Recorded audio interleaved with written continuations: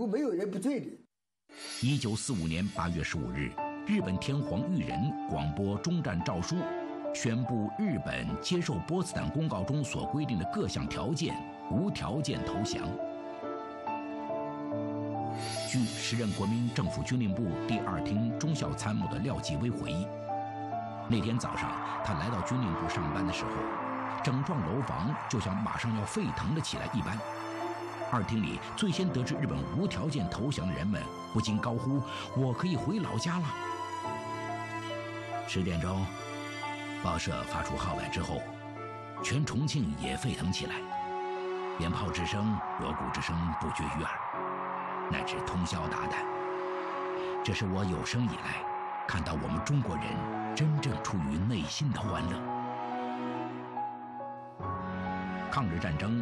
历时之长，涉及之广，中国人民的生命财产损失之巨大，世界罕见。在《不朽的光荣：第二次中日战争史》一书中，作者郑浪平列举了这场战争许多惊人的资料。这场全面且持续的历史大决战，总共进行了八年一个月又三天，双方动员兵力十万人以上的会战，总共二十二次以上。双方兵力一万人以上的战斗高达一千一百一十七次以上，还有三万八千九百三十一次小型接战。中国军方伤亡了三百六十万人，日军伤亡一百一十万人，中国平民伤亡了三千五百万人，中国人民的财产损失估计超过六千亿美元。在战场上坚守信念、誓死抵抗的中国军人们，当得知这期盼已久的胜利消息时，一时间都激动得不能自已。抗战胜利后，蒋介石即从第五集团军中抽调戴坚所部，命其开入越南北部受降。戴坚本人则奉命作为受降代表团之一，亲临受降仪式。当受降主。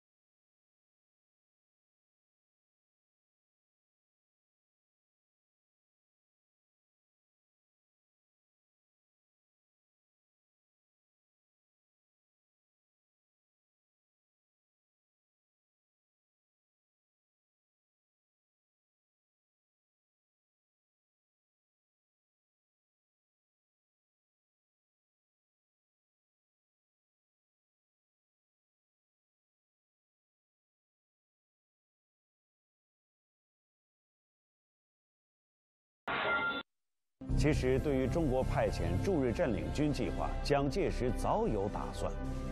早在1943年的开罗会议上，美国总统罗斯福就向蒋介石承诺，美国会支持中国在战后对日军事占领当中扮演重要角色。这是美国首次邀请中国参与日本战后处置讨论。可是，抗战胜利在即，蒋介石不仅要面对抗战后进行沦陷区接收。